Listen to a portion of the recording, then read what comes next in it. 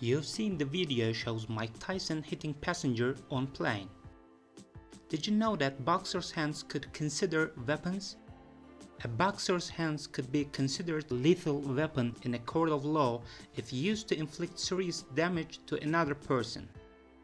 But in general, a boxer doesn't need to register their hands as a lethal weapon because there is no law requiring it. For more, please subscribe.